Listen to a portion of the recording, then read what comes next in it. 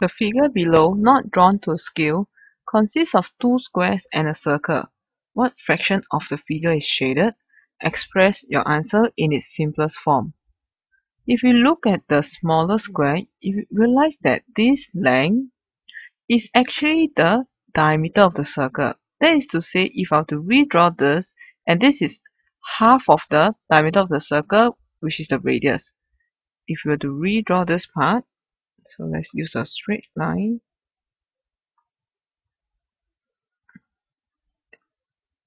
And this part here, this will actually be the,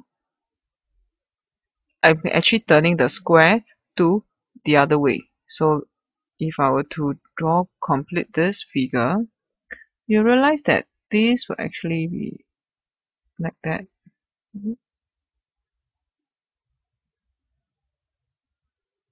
So I've actually turned the square around because it is touching the diameter so it is as good as I'm turning it this way.